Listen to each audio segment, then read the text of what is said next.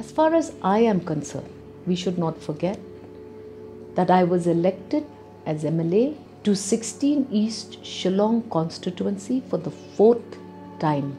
I am a member of the Indian National Congress.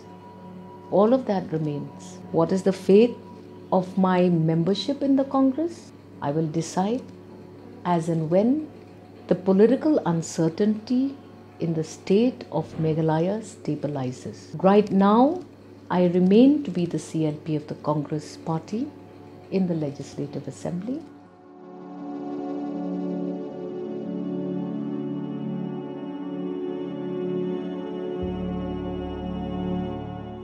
See, it is not a rumor that my MDC has taken a unanimous decision with his supporters to join the NPP in the district council. I feel that I should not disrupt the leadership that I see growing very steadily in our MDC, irrespective of the fact that I am his wife. He should not suffer because of the pulls and pushes of politics. In his first term as an MDC,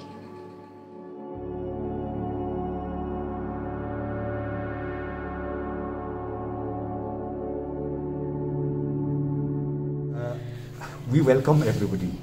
Our door is always open. So anybody who wanted to join us, our you know, our our house is big. We welcome everybody to join in.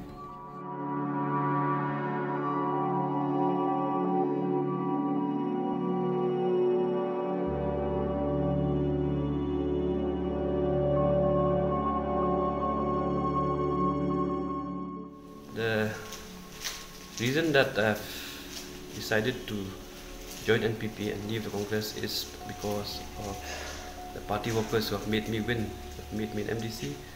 They are the one who decide on my behalf.